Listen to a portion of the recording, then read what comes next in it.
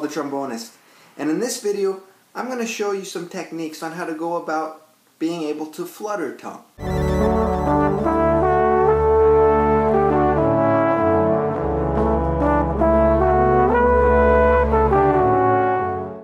The interesting thing about flutter tonguing is some people are born with the ability to grasp onto it quicker than others. Now that doesn't mean it's impossible. If it's a little bit of a challenge for you, there are some ways that you can go about to be able to exercise the specific muscles in your tongue to utilize this technique. For Spanish speakers, uh, it's going to be much easier as in your language you're used to rolling your R's a lot and it's a very similar thing. Without the mouthpiece, I'm going to show you what it sounds like. It's if you can do this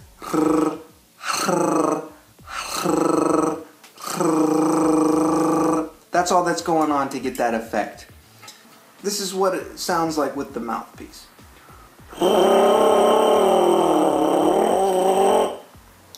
Okay, so what if you can't do that? It's alright.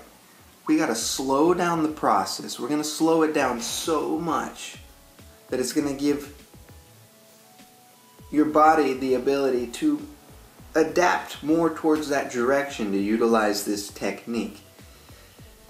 So if you think about what's really going on and we slow down the syllables, the tongue is producing some kind of a ha re ha re re re ha re re ha re re. So if the first syllable that comes out of your mouth is a ha, it creates a platform for your tongue to to bounce off of it and start the process for the rolling. So what I would do if I were you is I would practice it like this. Ha, re, re. It's a it's a actual um, a cross between an an re, re, an H sound and an R sound. Ha, re, re, re. So I would just practice that. I would go ha, re, re, re, ha, re, re, re, ha, re, re, re, ha, re, re, re, ha, re, re, re, ha, re, re, re, re,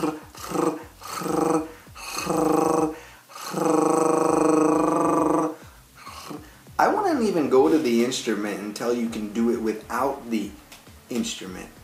If you can't do it without the instrument and create the rolling technique with your tongue, then it's never going to come together with the instrument. So I would just practice it like this. You can practice this. That's the great thing about practicing tonguing exercises, practicing articulations, is you can practice these things anywhere. I'll often be at the line at the post office. People think I'm nuts. I'm practicing tonguing exercises, da da da doing all kinds of crazy stuff. And it's really great because you can you can do a lot of practicing off of the horn on your instrument, way more than you really think. Uh, I even can go through scale motions and different patterns, and then when I come to my instrument, sometimes they work themselves out because I go through the whole process of it just mentally. We'll have to talk about that another time. So that's how you do it, and you work it up. Ha re re re ha re re re ha re re re re re. And then once your body feels it clicking and starting to come together, then you can you'll know right away, and then you can just roll with it. No pun intended. Ha.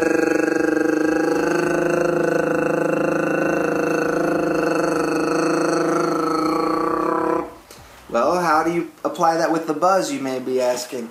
Great question. So that's a whole other ball game right there. So if you can't buzz on its own, then you got to be able to buzz on its own first. Right? Then you go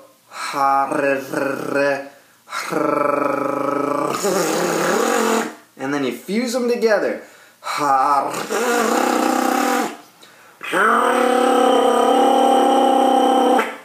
And there you have yourself a flutter tongue.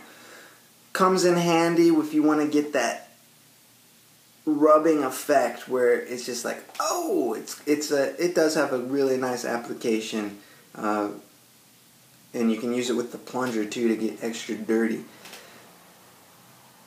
I hope this helps.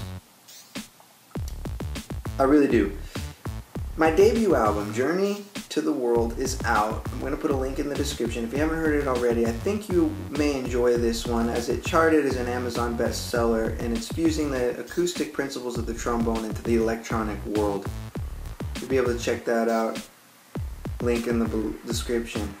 Uh, my equipment's always listed too on the descriptions or on my website. Everything's on my website, my shows, paulthetrombonist.com. It's a fun thing. And if you're subscribed to these videos, thank you. And also click notify. That way you'll get notified when they get uploaded. If you're not subscribed, um, no pressure, but if you enjoy this content, I think you may enjoy subscribing to this channel. And spend some time on this channel. There are, I guess now there are hundreds of videos uh, with featured guests talking about little gems of wisdom that they've encountered in their life. And there's also other trombone tutorials, music tutorials, uh, covers, arrangements. There's all kinds of stuff on this particular channel, the Paul the Trombonist channel. I love my patrons. They really help with these videos. They help support what I'm doing and it really helps me out tremendously. Their names pop up on these credits at the end. If you'd like to become a, a patron of mine, I send out some things once in a while, some downloads that, I, that the rest of the public doesn't quite get to hear, and they get their names on the credits and other kinds of cool stuff. It's patreon.com slash Paul the Trombonist. Love the patrons, love the people that are watching here. I love it when you comment. I love it when you hit like on these things. Uh, we figured out that the little algorithm, these videos pop up and other people are more aware of them with the more activity going on, the more liking, the more commenting. And if you enjoy these, I hope to see you in the next episodes. And if your friends may enjoy this channel, uh, help spread the word about the Paul the Trombonist channel. Really appreciate it so much. There's a lot more stuff coming up. Working on a few things simultaneously that I think you're really going to be excited about because I'm really excited about them. Paul the Trombonist, signing off here.